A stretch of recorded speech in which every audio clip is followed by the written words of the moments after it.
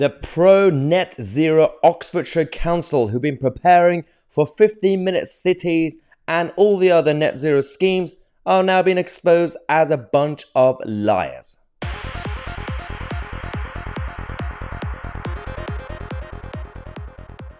Okay, let's talk about Oxfordshire. We've been talking about these guys uh, sometime now on the channel. Uh, they're going to be doing a trial for 15 minute cities. Uh, in case you haven't actually been following all, all this stuff, it's basically they're going to turn certain towns and cities into Hunger Games style districts where you have to be in your own district. It's not really physical barriers yet. It's simply about if you drive through uh, other neighborhoods, you receive a fine. And this is where hypocrisy comes in. Okay, so a couple of things we're going to talk about in this video. One is about the leader of the council, and also, and also the messaging, the narrative. So the 15-minute city plans are causing controversy. Some people are not happy about this. Well, the majority of people are not happy about this.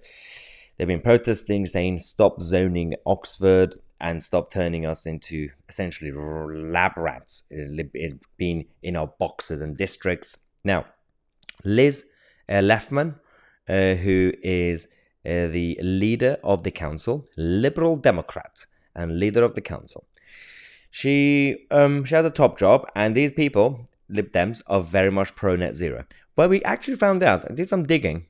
Liz Leffman is a bit of a hypocrite because only a few years ago she posted this video defending cars. She's now anti cars. She wants to remove cars from the planet. But only recently, she made this video defending car manufacturers. We cannot allow the government simply to walk out of Europe without having our say. We cannot allow that because we can't allow jobs in this area to be affected in industries such as, for example, the car industry, which is so big in Oxfordshire. Oh, so you care about car manufacturing. Oh, is it because you were focusing on uh, the European Union and Brexit? Was that just because it was uh, useful for you to pretend to care about them just so you could reverse Brexit? These people don't care about any of these causes. It's simply about timing and different circumstances. They just shift with the wind, just completely change their mind on every single issue. They're just complete leftists. Now, this is just uh, obviously Liz, who's a bit of a hypocrite. Now, in regards to oh, traffic filters, so they're also doing traffic filters um, to control people, control the public. Is all about obviously crowd control, obviously, in regards to in the name of um, the environment, in the name of traffic, in the name of clean air, and it's all about changing people's behaviors. There was a problem because people have been um, opposing this and protesting saying, using a metaphor, saying this is essentially you're keeping us in our boxes.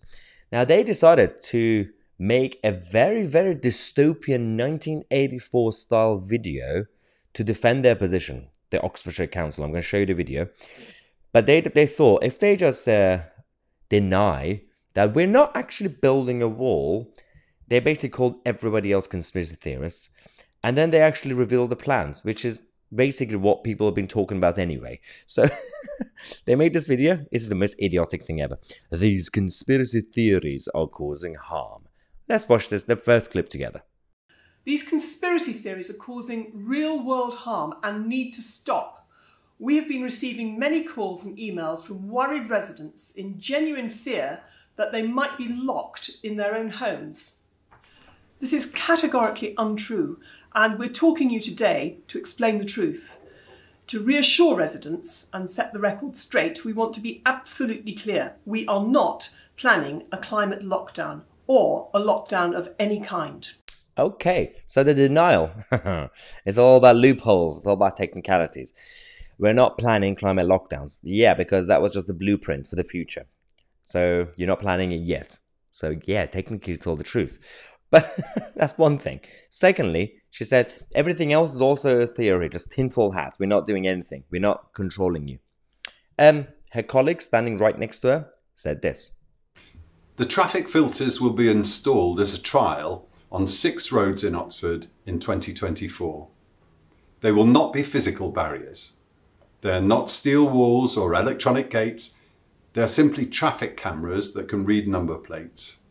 If a vehicle passes through, the camera will read the number plate and, if you do not have an exemption or a residence permit, you will receive a fine in the post. So they thought they could get away with this loophole saying, well, that is not really a wall, but if you don't have an exemption to enter that area, you will receive a fine. And if you don't pay your fine, it will be like that mother, Carly, that we made a video about this earlier on the channel. Make sure to check it out. Who simply was visiting her son in a hospital and she received all these net zero fines and it's now reached over a thousand pounds. And now the council in Birmingham are threatening to take her car away from her for simply uh, receiving all these fines. So, what is the difference between a physical barrier and completely stopping and restricting people's lives? Um, and you're going to take away their cars, their homes, and everything else. Really? It's not really good behavior. It's obviously down to uh, the local residents in Oxfordshire to vote out these idiots. That's the best thing to do. I know that some people are completely uh, feeling defeatist and uh, pessimistic, saying, well, the whole system is against us now because um, this narrative is now controlled by people, all the big money lobby and everything else, green lobby, and it doesn't really matter who we vote in, who we vote out, they're all the same. Technically, yes, but actually, there's still people out there, good people out there who care. If you care, stand for elections and sort it out. Um, and I know people could say the same about me and to me, but um, but we have to. We all have our, our roles in this fight, and we all have to contribute to the fight if we want to protect our freedoms in Britain any freedom that we have, a little bit of it left. But let me know what you guys think. Thank you so much for watching. I'm Mahyar Tousi and we are the media.